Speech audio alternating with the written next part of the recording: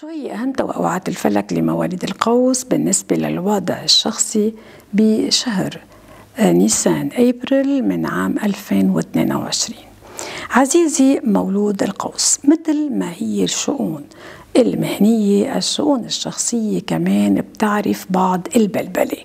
بتنصحك الأفلاك باعتماد الدبلوماسية بحياتك الشخصية العائلية والعاطفية. وعدم التذرع بصراحتك مثلا حتى تطلق الاتهامات أو الملاحظات الجارحة. انتبه الجرح يلي بفوت على القلب عادة ما فيك ترممه. ما تجاوب على كل سؤال بهالشهر.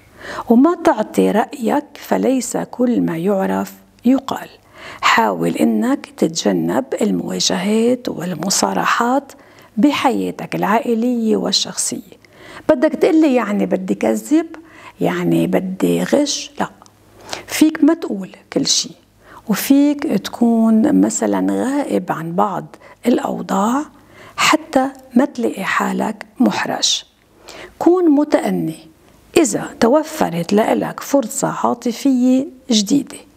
ما تغذي أحقاد ماضية إذا عادت قصة قديمة للظهور بحياتك.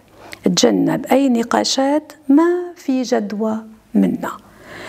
أنت ما رح تصحح هلأ ما أفسد يا عزيزي خاصة إذا تعلقت المسألة بأمر مادي له ارتباط بأمر عاطفي وعانيت منه. أو انتبه من محاسبة أثارت غيظك بالماضي.